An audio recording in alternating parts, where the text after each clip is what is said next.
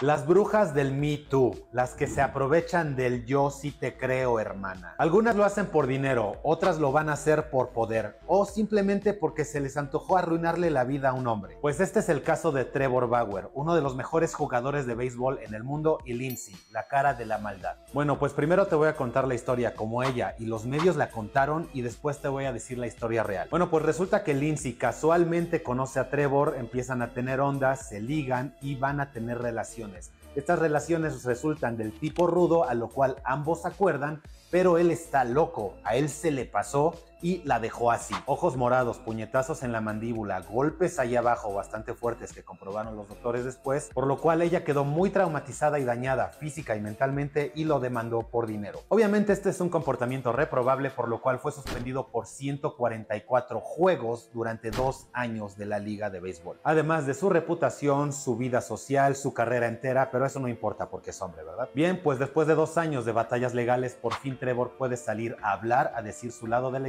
y a mostrar las pruebas de lo que realmente sucedió. Este es un mensaje que le envió a una amiga antes de siquiera conocerlo de que las cosas sucedieran. Mi próxima víctima, el jugador estrella de los Dodgers, Trevor Bauer. Pero ¿cómo le vas a hacer? Voy a ir a su casa el miércoles, ya tengo mis garras en él, ya sabes cómo soy. Su fortuna está valuada en 51 millones de dólares. Perra, más te vale que asegures ese dinero. Te voy a dar 50 mil, ja ja ja. Según sus declaraciones ante el juez, que por cierto mentirle a un juez es un delito, durante la noche es cuando sucedieron estas relaciones que terminaron muy violentas y las cuales la dejaron muy lastimada. Por lo cual ella no podía esperar para que ya diera la mañana y ella pudiera escapar por fin de ahí. Bueno, pues este es un video tomado con su celular en la mañana siguiente, cuando ella ya había pasado por todo esto. Por supuesto lo grabó dormido sin su consentimiento, lo cual obviamente está de más, y después ella salió de su casa. Ahora nada más piensa en esto, ella tuvo que salir de ahí ir con una amiga o amigo, pedirle que la golpeara en los ojos, en la mandíbula y ahí abajo para después ir a denunciarlo. Bueno, pues dos años después, una vida y carrera arruinada,